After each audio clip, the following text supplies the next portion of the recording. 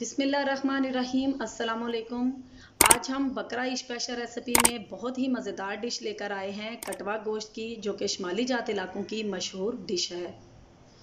और वहाँ के लोग इसको बहुत ज़्यादा पसंद करते हैं। कटवा गोश्त जो है, मिट्टी के बर्तन में बनाया जाता है और उन लोगों के पास देग की तरह बड़े बड़े से मिट्टी के बर्तन होते हैं, जिसमें कि वो कटवा गोश्त या फिर कटवा हांडी तैयार करते हैं।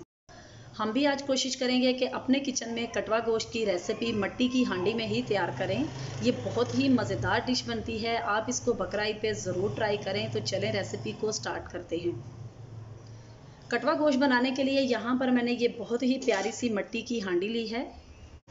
चूल्हा ऑन कर दिया है और उसमें तकरीबन तीन गिलास हम पानी डाल देंगे।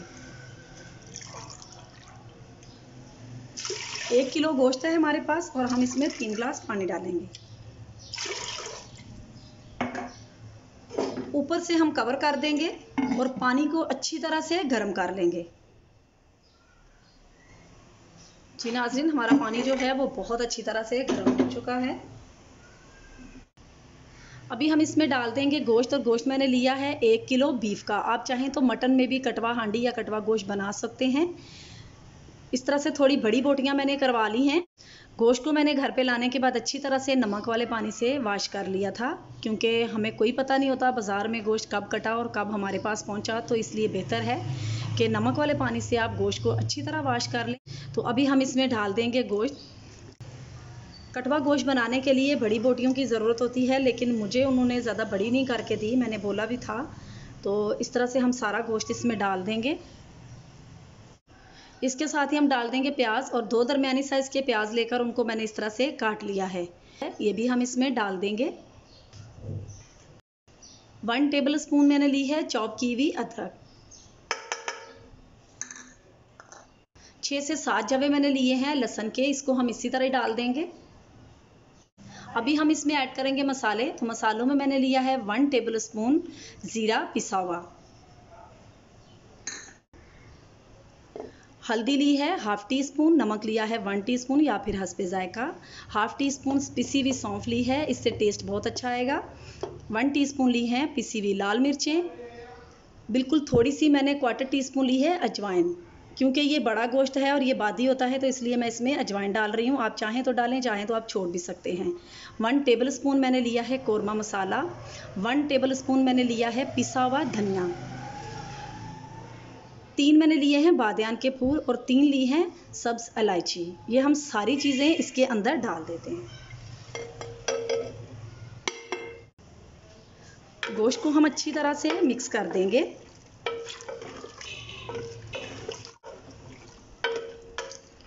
अच्छी तरह से मिक्स कर दिया है। हम अभी हम इसको ऊपर से कवर कर देंगे। ऊपर से हमने इसको कवर कर दिया है। 40 से 50 मिनट के लिए हम इसको लो फ्लेम पे पकने के लिए छोड़ देंगे। चूल्हा हमने ज़्यादा तेज़ नहीं रखना और कटवा गोश्त की जो रेसिपी है बिल्कुल स्लो आँच पे पकती है। और ये आपके गोश्त पर भी डिपेंड करता है कि आपका गोश्त कैसा है। ज़्यादा सख्त है या नरम है? बड़े जानवर का है या छोटे जानवर का है? तो इस हिसाब से आपने गोश्त को घलाना है। अभी मैंने इसको 40 से 50 मिनट के लिए छोड़ दिया है। 40 से 50 मिनट बाद हम इसको चेक करेंगे। गोश्त को रखे हुए एक घंटा हो चुका है। अभी हम इसको चेक कर लेते हैं।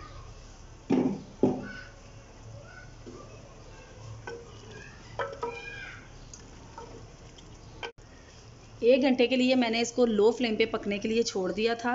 अभी थोड़ा सा पानी इसके अंदर है। अभी हम इसमें डाल देते हैं दो दरमियानी साइज़ के टमाटर लेके। उनको मैंने इस तरह से बारीक काट लिया है। ये हम इसमें डाल देंगे। टमाटर हमने इसी स्टेज पर डालने हैं जैसे कि मैंने अभी डाले हैं। अभी हम इसको थोड़ा सा मिक्स कर देते हैं। थोड़ा सा पानी अभी हम इसमें और शामिल कर देते हैं। और दोबारा से कवर कर देंगे तकरीबन 15 से 20 मिनट के लिए कि हमारे टमाटर जो हैं वो भी अच्छी तरह से गल जाएँगे। अभी चूल्हा थोड़ा सा मैं तेज़ कर दूँगी। पहले मैंने बिल्कुल इसको लो पे रखा हुआ था। अभी लो से थोड़ा सा मीडियम पे कर दिया है। जी नाजरीन, टमाटर को डाले हुए भी 15 से 20 मिनट हो चुके हैं।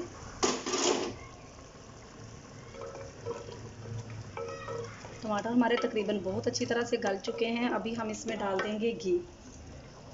घी हम इसमें बहुत ज़्यादा नहीं डालेंगे, क्योंकि आपको पता है जो बड़ा गोश्त होता है, उसमें पहले भी थोड़ी सी चिकनाई और चर्बी वगैरह होती है तो उसकी वजह से हम बिल्कुल इस तरह से मैंने ये दो चम्मच है मेरे पास, बड़े वाले, इसमें मैंने दो चम्मच डाल दिए। इसके साथ ही मैं डाल दूँगी ये तीन मैंने हरी मिर्चें ली हैं, इस तरह से इनको मैंने कट लगा लिया है।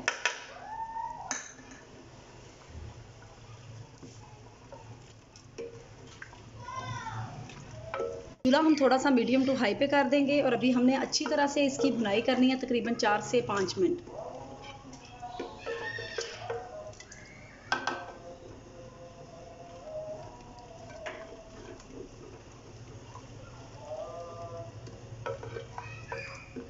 अभी मेन जो चीज़ है, वो है इसकी बुनाई और बुनाई हमने बहुत अच्छे से करनी है। तकरीबन दो मिनट हो चुके हैं इसको भूनते हुए। और अभी हमने इसको मज़ीद भूनना है। और इस रेसिपी का असली जो टेस्ट है, वो घी से ही आता है, लेकिन अगर आपको कोई हेल्थ इशू है या घी नहीं पसंद तो आप इस ऑयल भी यूज़ कर सकते हैं। लेकिन इसका जो असली टेस्ट है, वो घी से ही आएगा। तमाम जो रेस्टोरेंट वाले ये रेसिपी तैयार करते हैं तो वो घी में ही करते हैं ऑयल में नहीं करते। जी नाजिन आप देख सकते हैं, चार से पाँच मिनट हो चुके हैं मुझे इसको भूनते हुए। अभी आप देख सकते हैं कि इसका मसाला बहुत अच्छे से तैयार हो चुका है। गोश्त हमने बहुत अच्छी तरह से भून लिया है। अभी हम इसमें डाल देंगे पानी और पानी हमने इतना डालना है कि जितनी आपको ग्रेवी चाहिए वो मैं इसमें तकरीबन दो गिलास पानी डाल दूँगी।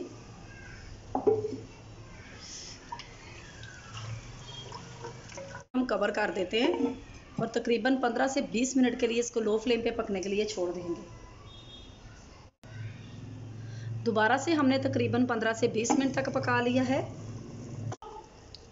आप चाहें तो इसका पानी और भी सुखा सकते हैं। लेकिन यहाँ पर बहुत ही ज़बरदस्त सा सालन हमारा तैयार हो चुका है। हमें इतना ही शोरबा चाहिए, अभी हम यहाँ पे चूल्हा बंद कर देते हैं। हाफ़ टी स्पून में इसमें डाल दूँगी गरम मसाला। गरम मसाला डालने के बाद हम मिक्स कर देते हैं। जी नाजरीन, इसको मैंने स्लो आँच पे पकाया है और इसको पकाते पकाते तकरीबन मुझे दो घंटे हो चुके हैं। थोड़ा सा हम ऊपर डाल देंगे हरा धनिया और बहुत ही ज़बरदस्त सा हमारा सालन कटवा गोश्त का तैयार हो चुका है। आपको हमारी आज की रेसिपी कैसी लगी कमेंट सेक्शन में ज़रूर बताएँ। ये बहुत ही मज़ेदार बना है। आप भी ट्राई करें, रेसिपी अच्छी लगे तो वीडियो को लाइक, शेयर और चैनल को सब्सक्राइब करें।